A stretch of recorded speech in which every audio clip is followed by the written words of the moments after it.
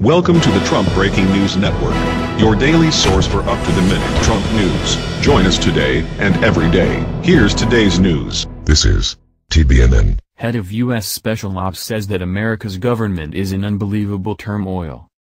Army General Raymond Tony Thomas, the head of U.S. Special Operations Command, bemoaned the unbelievable turmoil racking the United States government during a symposium in Maryland on Tuesday.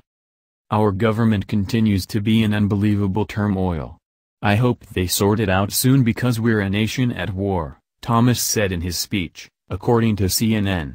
Although he didn't specify what a turmoil he was referring to, he clarified when later asked about his comments, saying, As a commander, I'm concerned our government be as stable as possible.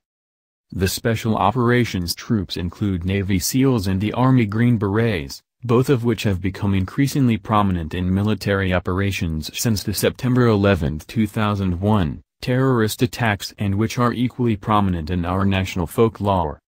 While it is unclear what Thomas was referring to, it is quite possible that he was discussing the war that has been ongoing between the so-called deep state and the Trump administration.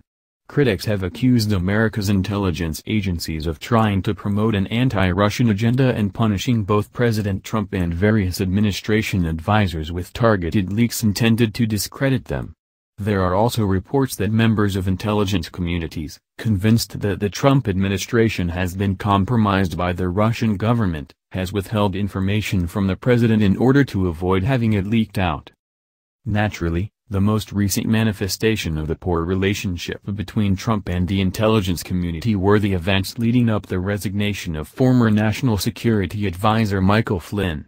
Although Flynn initially claimed that he had not spoken with Russian Ambassador Sergei Kislyak about President Barack Obama's sanctions, intelligence leaks later revealed that he had in fact done so, prompting his resignation. That's the news. Join us here every day. Be sure to subscribe and click the bell. See you next time. This is TBNN.